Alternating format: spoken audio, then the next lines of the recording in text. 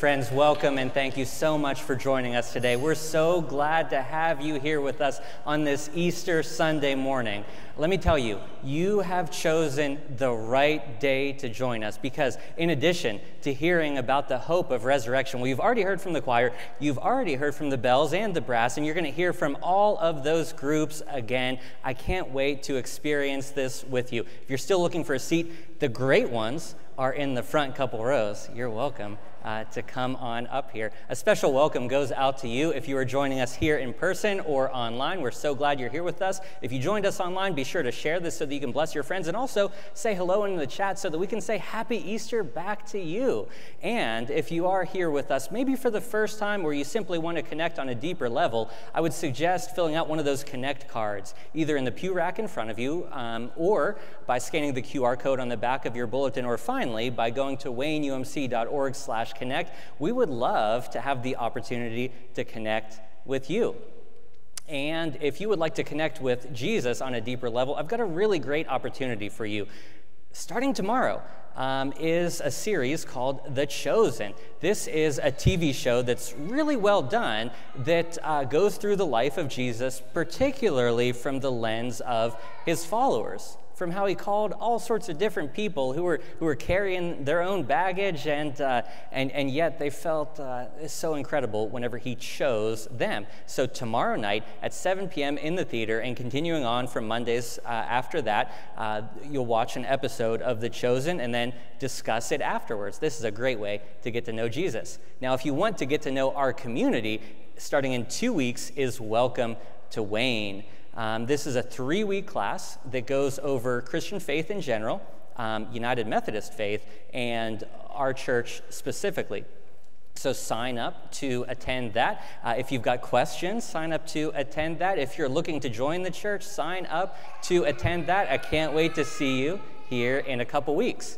Now, in the meantime, maybe Jesus isn't for you yet. Maybe the community isn't for you quite yet, but um, this week, this week, in just a few short days, I think that there's something that we can all get behind, and that is a blood drive. This Thursday afternoon, downstairs, we need your blood. And so, before you leave this place today, you can sign up online later, but guess what? If you do that, you're going to forget. So before you leave this place, there's a table out in the lobby. You can sign up there, make it a priority. Sign up before you go uh, to give life to others. And then in a couple weeks after that is our church rummage sale. I almost said annual, but I think it's been like five years since before the pandemic. Um, and this is a way that you can stay plugged in to your faith, a way that you can put your faith into action because whenever you buy secondhand, then you're keeping stuff out of the landfill. And whenever you donate to the rummage sale uh, in the week leading up, you're uh, also showing that your stuff doesn't own you. So please consider donating or, um, or shopping at the rummage sale on April 19th and 20th. Put it on your calendars now, but for right now, Christ is risen. Christ is risen. Christ is risen. Hallelujah. Our first hymn is going to be found on page 302 and the screens. Um, I'm going to invite you to rise as you're able after a special introduction from, from the bells and the choir and the brass. Um, for right now, you can remain seated, but I can't wait to sing this song with you.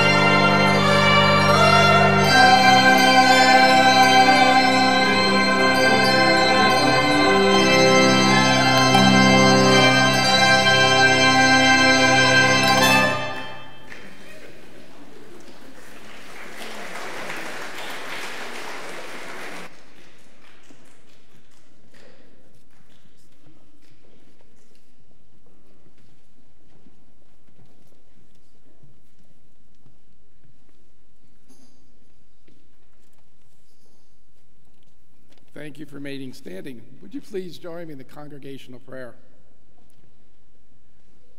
Risen Savior, on this day, the holy day, we come unto the light of your love. As the dawn greets us, we see with the new eyes the splendor of your glory. Grant that we catch the glimmer of life you offer. Help us to seize the joy that is everlasting with you. Amen. Would you please be seated? At this time, I invite the children to join me up front for the children's message. Come on down. No, this is not the Price Is Right? Hello, hello, everybody. Lots of fr- friendly faces. Come on down. Yeah. You what? You have this at home? This is awesome. Yeah. You got it today. Okay, tell me.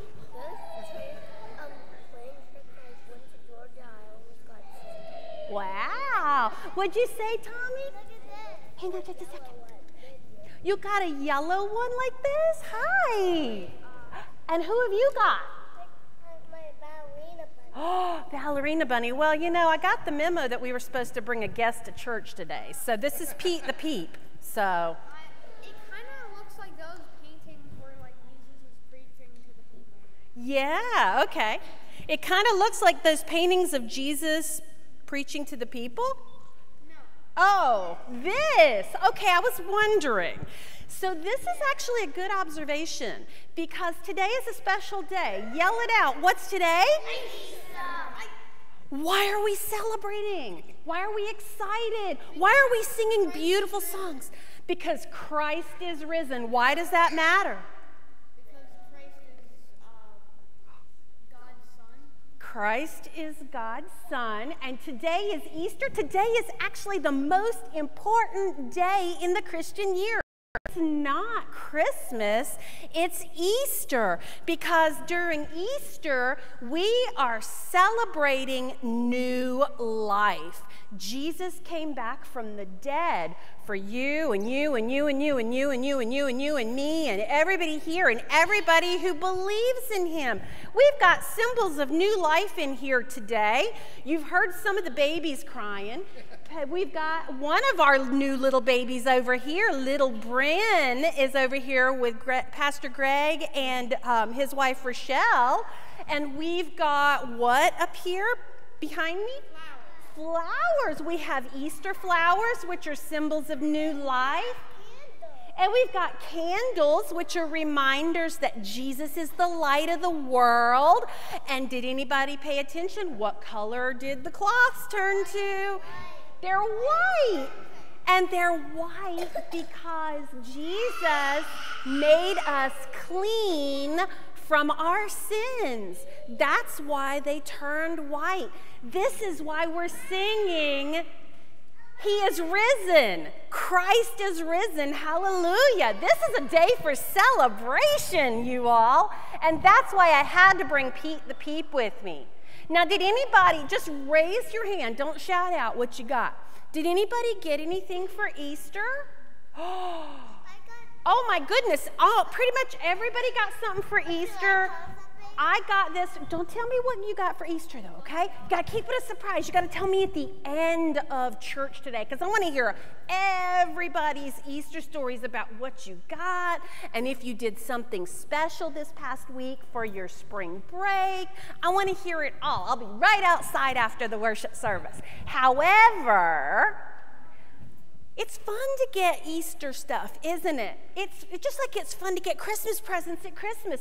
It's fun to get Easter eggs and candy and get new clothes to dress up in. And some of us got Easter critters. I am so excited to have Pete the Peep. This actually was bought for me by my teenager, my younger teenager, because I loved it so much. Mag said I needed to have it, so Mag bought it for me. So, is Easter really about all those things, though? No. It's about Jesus and God's love for us and Jesus coming back to life. Death could not hold him. The grave could not hold him. When you see your eggs and you have the empty Easter eggs, that's a reminder of the empty tomb where Jesus' body was. Easter Sunday, they couldn't believe it. He wasn't there.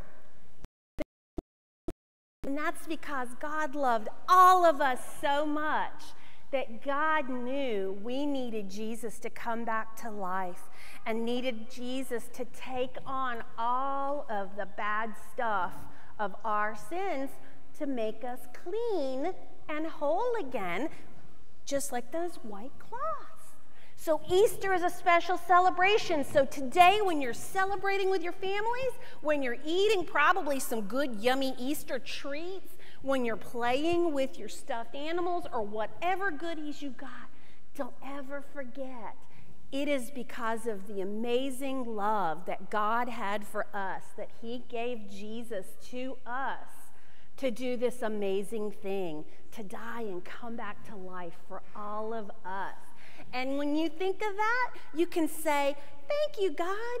Thank you, Jesus, in your brain, or maybe even out loud as well. Because we don't ever want to forget that while it's fun to do all the cool Easter stuff, the real reason for Easter is that amazing thing that Jesus did for us. Let's bow our heads for a word of prayer. I'll just say the prayer. You don't need to pray with me, okay? Let's pray. Loving God, we thank you so much for this amazing gift that you have given each one of your children. Thank you, God, for helping all of us through each and every day and remind us always of those signs of your love for us through the many things that Jesus did for us. The most important was dying for us and coming back to life for us to reconcile us to you and to make us whole once again. In Christ's name we pray. Amen. All right, so if any of you are preschoolers and your grown-ups want to take you to the preschool class upstairs, the class is happening today, and everybody else, you can go back to your seats. Thank you and happy Easter.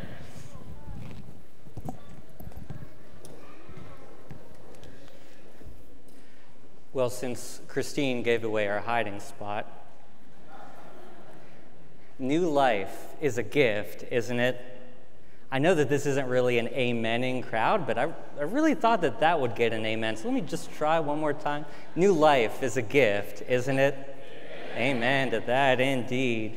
Sometimes that new life is, is literal, and sometimes, sometimes that, that new life shows up whenever we break the power of addiction and oppression.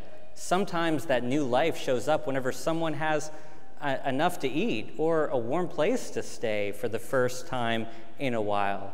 New life shows up in many, many different ways, but Easter, Easter is all about new life. And so the purpose of the church is to be an Easter people, to bring new life wherever we go, to be in the business of bringing new life. So, in just a moment, you're going to have an opportunity to give to the offering, to, to fund the new life that the church brings. In addition to the offering plate, you can give online and through the app and through the mail and through your bank's bill pay. No matter how you give, thank you for giving new life.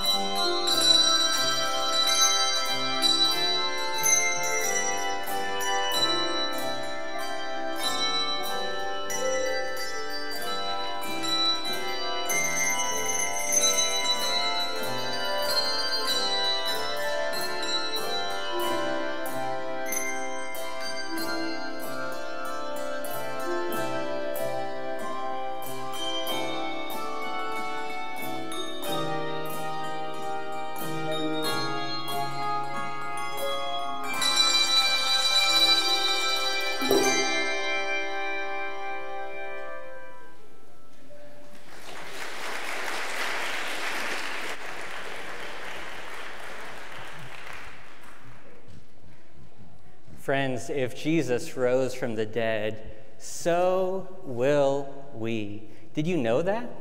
That Jesus didn't just get raised from the dead so we could say, Good job, Jesus. No, Jesus rose from the dead so that we could rise from the dead as well. As we seek to implant this belief deep down inside of us, I invite you to rise again as you're able as we sing. You'll find the words on the screens and the sheet music in the lobby.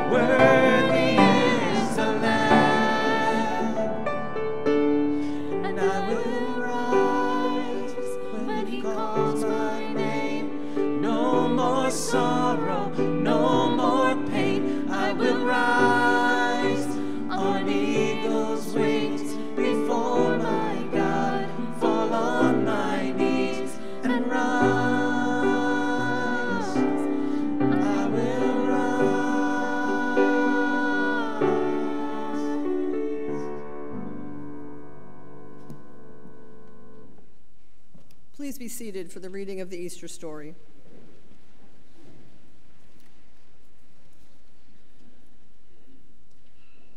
When the Sabbath was over, Mary Magdalene, Mary the mother of James, and Salome bought spices so that they could go and anoint Jesus' dead body. Very early on the first day of the week, just after sunrise, they came to the tomb. They were saying to each other, Who's going to roll the stone away from the entrance for us? When they looked up, they saw that the stone had been rolled away, and it was a very large stone. Going into the tomb, they saw a young man in a white robe seated on the right side, and they were startled. But he said to them, Don't be alarmed. You're looking for Jesus of Nazareth, who was crucified. He has been raised. He isn't here. Look, here's the place where they laid him. Go, tell his disciples, disciples, especially Peter, that he is going ahead of you into Galilee. You will see him there, just as he told you. Overcome with terror and dread, they fled from the tomb. They said nothing to anyone because they were afraid.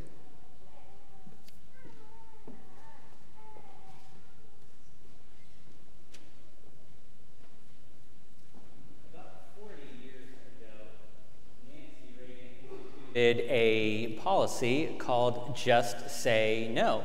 Um, it was mainly geared at combating drug use, especially among younger individuals. And um, even though, even though it's probably a little bit easier said than done, and even though there have been you know, very legitimate criticisms of its implementation, the thought behind it is, is pretty good. You see, we need to just say no to some things in order to say yes to some better things. In this case, we need to just say no to drugs in order to say yes to sobriety and the life that that brings to us. We need to say no to everyone else so that we can say yes to a partner. And we need to just say no to things that, that don't add value to our life so that we can say yes to that which truly improves our life, to that which makes it better, to that which helps us to live it to the fullest. And so, um, whenever we think about religion, we've kind of made it into a system of a whole bunch of no's. Uh, we, we've put up all of these boxes that say that there are a lot of things that you can't think, and you can't believe, and you can't feel, and you can't experience. But then Easter comes along. And Jesus bursts forth from that tomb. He essentially exits that box and he smashes all of the other boxes as well to show us the fullness that God has for us, which is a fullness that is greater than we could ever think or imagine. You heard the story earlier. You heard the, or, the Easter story uh, just a moment ago. Um, even if you're not a church person, you've probably heard the Easter story before right now. But just so that we can all get on the same page, let me uh, summarize it in just one single statement Christ is risen, but they, oh, okay, you can respond to that. Christ is risen indeed. That's fine. Well, that's great. Okay. Christ is risen, but they were too afraid to tell anyone. You hear that note about, about how the Easter story ends? It can be uh, a, a bit disconcerting. We'll, we'll, we'll, get back to that just in case you missed uh, that particular ending of the story. There's the Easter story in, in one quick snapshot, but let's go a little bit deeper than that and let's expound on this just a bit more than that. You see, uh, the women who showed up at the crucifixion are the same women who showed up at the burial, are the same women who showed up on Easter Sunday morning. Now, conversely, the men who didn't show up at the crucifixion are the same men who didn't show up at the burial, or the same men who didn't show up on Easter Sunday morning, which is why you just heard the Easter story read by Sue and not someone who looks like, well, me. Sorry, guys, and self, I, I suppose. But the women came to the tomb on that very first Easter Sunday morning, and they weren't all that worried about that and, and probably like putting the men in their place and showing how much more faithful that they were, I suppose. Their, their primary concern was actually who in the world was going to roll that stone away? See, there's like this huge stone in front of the tomb, too heavy for them to handle, and so they wondered how that was going to be taken care of and yet, what they found was that that stone had already been rolled away. Now, that startled them, but what startled them even more was how Jesus wasn't there. And in fact, there was an angel there, and the angel was telling him that, hey, guess what? I, I know he was dead just a couple days ago, but guess what? He's alive now. I know you saw him crucified. I know you laid him in this tomb, but now he's alive. That definitely startled them. That definitely caught them off guard. Because as it turns out, on the third day, whenever the sun rose, so did the Son. Now, after they came to from the emotion of, of, of, finding the stone rolled away, after they came to from the emotion of, of not finding Jesus where they had just put him a, a few short days ago, we read that overcome with terror and dread, they fled from the tomb. They said nothing to anyone because they were afraid. Because they were afraid. So much for the angel having told them not to be afraid. Although I suppose that the quickest way to make someone afraid is to tell them not to be afraid. Now, what exactly were they afraid of? Is it because they saw an angel? Is it because they thought they saw a ghost? Or is it because they were coming face to face with the reality of the fact that maybe everything Jesus had ever told them was actually true.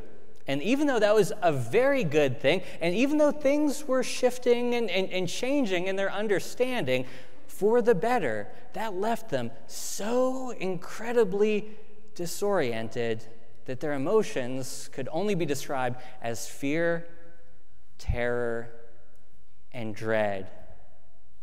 Now, the words of reassurance from the angel are intriguing See, the angel doesn't say, Don't worry, Jesus is going to be with you. No, the angel says, Jesus is going before you. He's going to be ahead of you. Go and follow him. Go to this place. He's already there waiting for you. You see, because that is actually for the best because it shows that Jesus has already been there that he's already been through their greatest fear of death. He's already come out on the other side. He's already defeated it. And now he's holding out his hand to all of them and saying, Come and follow me. Death. Death is our greatest fear. We might think it's something else. We might think it's heights or snakes or spiders or public speaking or, or, or being confined in an enclosed space. And I'm sorry for all of the emotions that arise whenever I talk about heights and spiders and snakes and being enclosed in a tight space and having to get up here and, and, and do public speaking. But death is actually our greatest fear. And even though we might say otherwise, our actions tell us something different. You see, because we, we take out these huge life insurance policies because we become afraid of what's going to happen to our families whenever we are no longer here. And we spend tons and tons of money on the medical industry to try to prolong our lives for another day or week or month or maybe, if we're lucky, another year. Our actions show what our greatest fear is, and our actions show that our greatest fear is death. What's going to happen when we're gone? How are we going to be thought of when we're gone? What's going to happen to our families whenever we're gone? What's going to happen to our business and our legacy once are gone? And what's waiting for us on the other side whenever we pass away? Who's there? Who's not there? What's there? What's not there? Our fears are inextricably linked up with death. And so, what are you afraid of? We all have certain fears. But the good news is that if we can get ourselves to the place of saying no to death and fear, this allows us to say yes to life. Again, it's easier said than done, but if we can get ourselves to that place of saying no to death, saying no to fear, we can truly truly live a full life. And that life doesn't need to end. That life is for the here and now, but that life extends into eternity. It was Jesus who said, God so loved the world that he gave his only Son, so that everyone who believes in him won't perish, but will have eternal life. And that life is more than we could ever think or imagine because it was also Jesus who said, The thief enters only to steal, kill, and destroy. I came so that they could have life, indeed, so that they could live life to the fullest. This life, abundant life, life lived to the fullest, life that doesn't need to end because it extends on and on and on with God is a huge promise. It's a huge promise that Jesus made, and I get that. I get that it's a huge promise that Jesus made. But, friends, Christ is not only risen, Christ also has riz. All right. For those of you who are over 30, like myself, I'm going to help us all out here. Uh, Riz was only added to the dictionary by Merriam Webster um, about six months ago. And uh, many say that it's short for charisma. Others will say that, it's, that it means something else. But we're going to go with Riz is short for charisma. Whatever it means, Jesus has it. Look, throughout his ministry, he amassed followers. I know he had this inner circle of 12, but there were others who followed him from town to town. Sometimes thousands of people would show up to hear him teach, and they would even stay for dinner. In reality, for a man like Jesus in his 30s to have even 12 close friends is really a true miracle. Um, but his rise is not only in his miracles, but it's also in his authenticity. See, Jesus is as, as real as it gets. He hung out with people who weren't very good for his social standing, but he didn't care. He was confident enough to be his own person. In addition to that, Jesus stood up for people that no one else would. He was brave like that. And Jesus also stood up to people that no one else dared to. He was bold like that. Jesus is as real as it gets. People like Jesus in general Whenever people have something against Christianity, it's not really against him, it's, it's more against his followers. And I get that, but one of my very favorite quotes that I've probably showed some of you before is actually this one from Gandhi. You're in good company. Um, he says, I like your Christ. I do not like your Christians. Your Christians are so unlike your Christ. So, even if you don't like his followers, like Jesus, try Jesus, be like Gandhi. Even Gandhi liked Jesus. So, here he is Jesus. He's conquered death. He's made it to the other side. He's put all of our fears in their place. And he's showing us that there's a different way. He's showing us that our fears, particularly that of death, don't need to keep us chained down, but rather we can be released from all of that because he's made it through, he's conquered it, he's shown us that he is more powerful than any of that. And he's on the side, on the other side, holding out his hand, reaching it out to us, there to comfort us, to offer us peace, to be with us forever and ever, offering us life, abundant life, life to the fullest, life lived with God forever and ever. Amen and that is worth telling somebody. Will you pray with me? Risen Lord, today we are entering into your presence as those who are seeking to experience the resurrection. For some, it's, it's too good to believe. For others, it, it, it invokes fear in the very thought of, of what might happen if that is true. Lord, we're all coming in with, with different emotions, all with different feelings, all at different places along our journey of faith. And yet, we believe that you are reaching out your hand to each and every single one of us.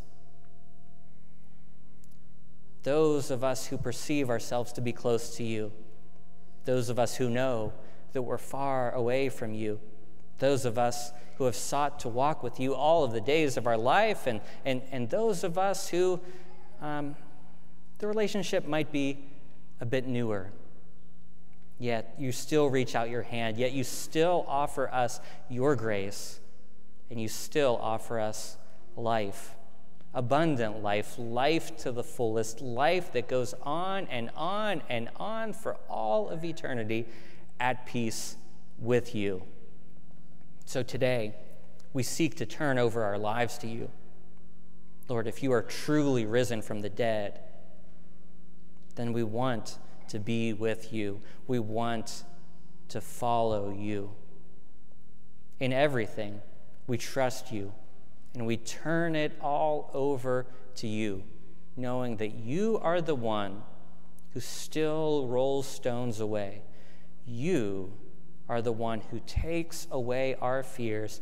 You are the one who brings life where all we can see and find for ourselves is death. And so we pray all of this in the name of our risen Lord, who taught us to pray, saying, Our Father, who art in heaven, hallowed be thy name. Thy kingdom come, thy will be done, on earth as it is in heaven. Give us this day our daily bread, and forgive us our trespasses, as we forgive those who trespass against us. And lead us not into temptation, but deliver us from evil. For thine is the kingdom, and the power, and the glory, forever and ever. Amen. Well, friends, that life is, just as that prayer ended, forever and ever. And we do, in fact, say amen to that. The musicians are going to be getting in place right now, and, and uh, as they do, I'll let you know that our final song is going to be both on the screens and page 312 of your hymnal. However, they've got a special arrangement for us, so feel free to open up to 312 to see the notes, but look up here for the screens. And uh, like the first hymn, we'll cue you whenever it's time to rise and join in after a special musical introduction.